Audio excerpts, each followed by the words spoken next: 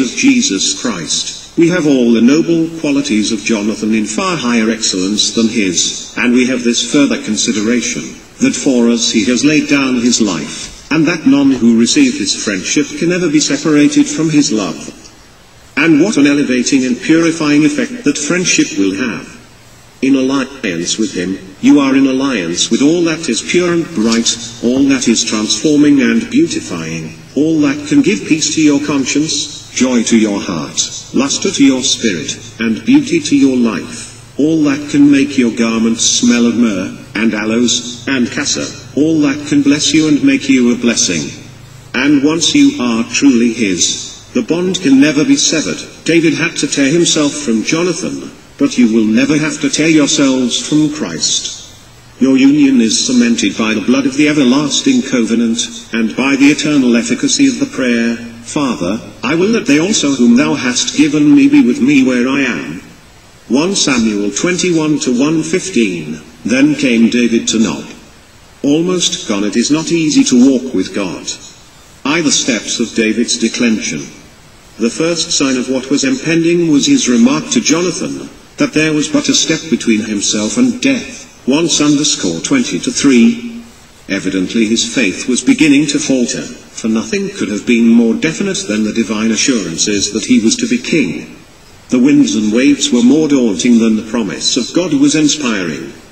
Perchance David relied too absolutely on what he had received, and neglected the daily renewal of the heavenly unction. John underscore 1 colon 33 34, 1 JN underscore 3 colon 24.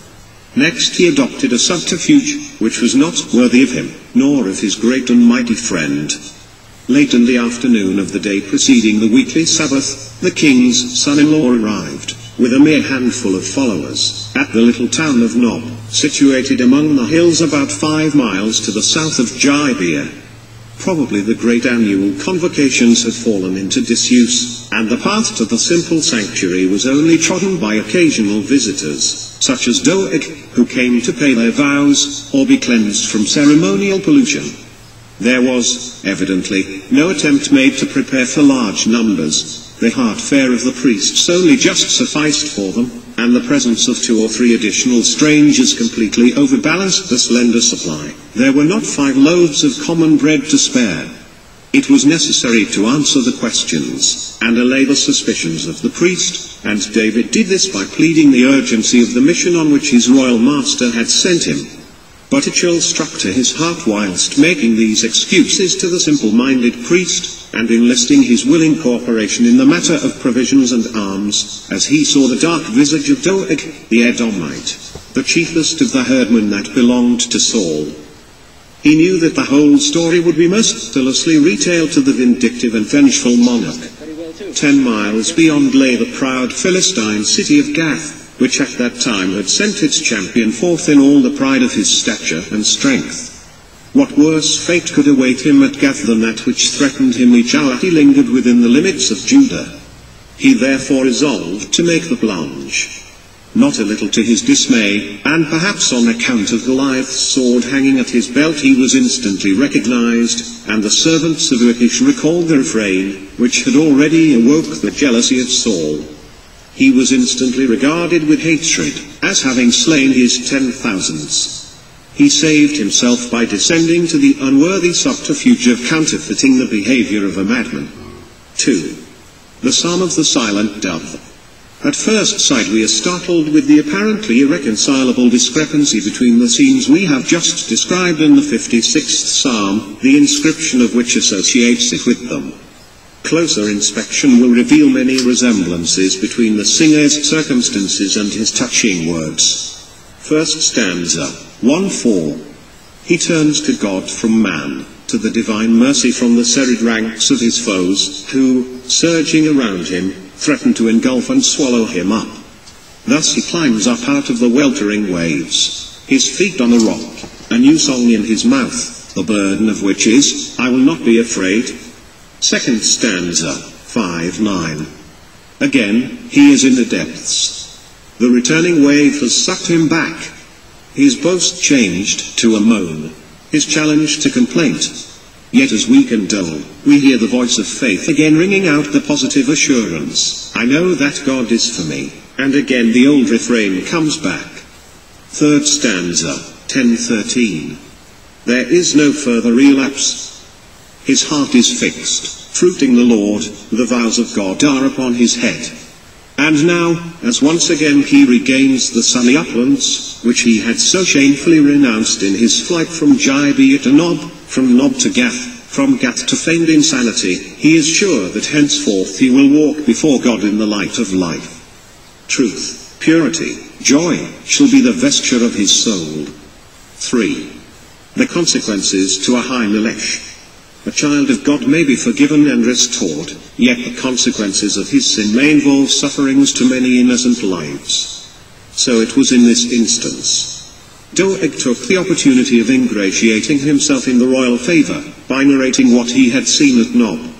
He carefully withheld the unsuspecting innocence and ignorance of the priest, and so told the tale as to make it appear that he and his house were accomplices with David's action, and perhaps bent on helping David to gain supreme power.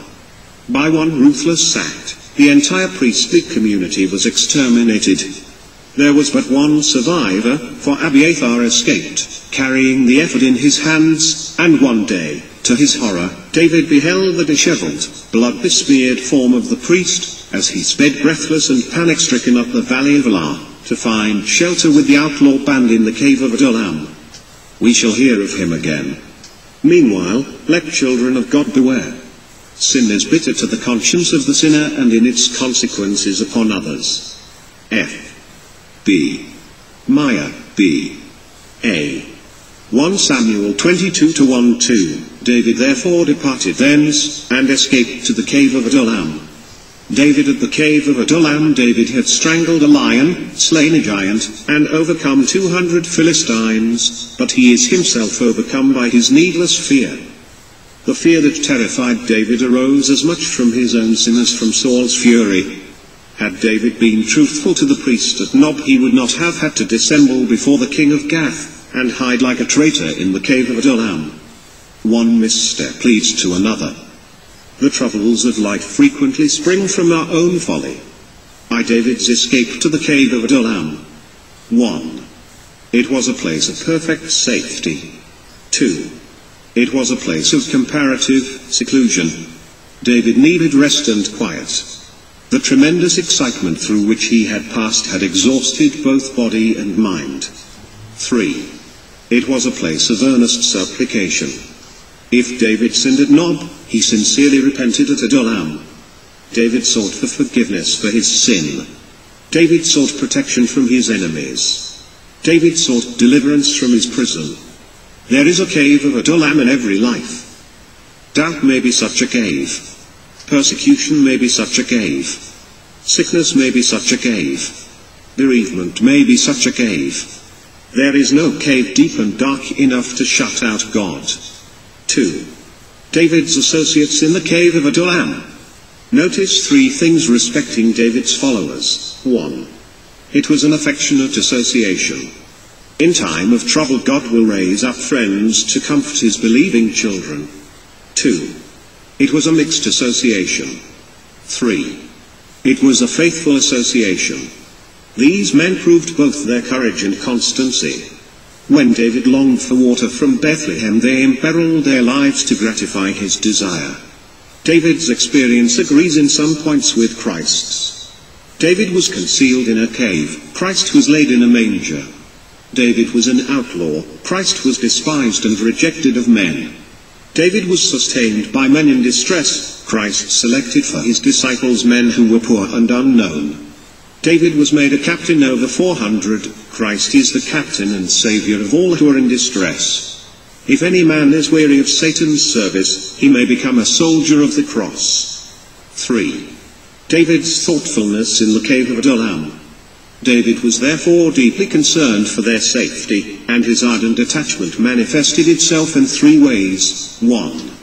By his dangerous journey to promote the comfort of his parents. David went thence to Moab. This was not a long journey, but it was difficult to accomplish. 2. By his earnest intercession to obtain protection for his parents. 3. By his special endeavor to secure respect for his parents. He brought them before the king, this was a prudent introduction. And they dwelt with him, this was gracious reception. All the while that David was in the hold, this was generous hospitality. We cannot too highly commend David's devotion to his parents. He was willing to sacrifice his life and liberty for their safety. 4. David's departure from the cave of Adullam. We may learn three things from David's departure from the cave of Adullam. 1. Good men receive timely direction from God. Abide not in the hold. God will not disappoint those who wait for his guidance. The steps of a good man are ordered by the Lord. 2. Good men receive minute direction from God. Get thee into the land of Judah.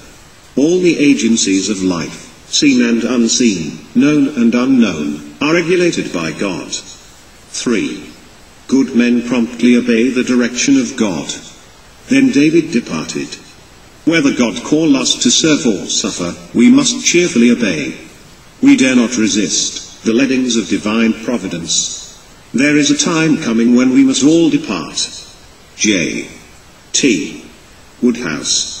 1 Samuel 22 to 523. And the prophet Gad said unto David, A friend and a foe I the visit of Gad the seer.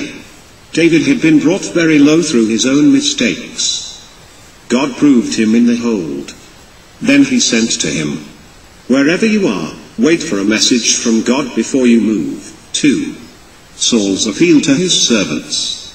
No one answered it but the alien Doeg. Notice, Herod was an Edomite.